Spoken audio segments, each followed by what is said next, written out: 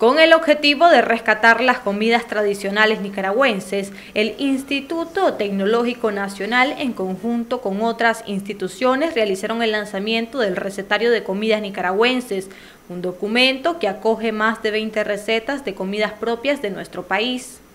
La hermana Nelly, ¿verdad? que fue la pionera del rescate y fortalecimiento de esas recetas milenarias, exquisitas y ancestrales, que lo mantuvo ¿verdad? Permanente y constante y llegó a ser punto de referencia no solamente a nivel de Managua, sino a nivel nacional y de muchas delegaciones que venían del exterior. Venimos rescatando esas tradiciones que, como mencionaba nuestra alcaldesa Reina, vienen las familias nicaragüenses pasando de generación en generación y conservando ese sabor de nuestra Nicaragua. Así que felicitamos a todos y cada uno de ustedes. En este recetario se presentan diversas recetas elaboradas por los ganadores de los diferentes concursos gastronómicos que se realizan durante todo el año en los departamentos de Nicaragua. Aquí nosotros estamos compartiendo eh, la síntesis de tres años de trabajo a lo largo de todo el país a través de concursos, de esa dinámica local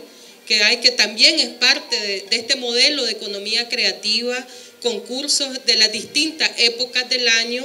Nosotros tenemos comidas especiales para cada época del año, dulce, sopas, bebidas, comida seca, como le decimos, postres, y aquí está.